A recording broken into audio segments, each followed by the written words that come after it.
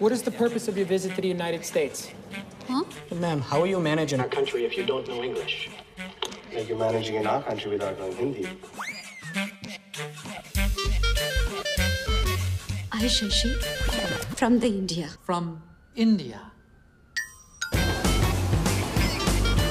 I can come in? No. Bye. How you doing today, ma'am?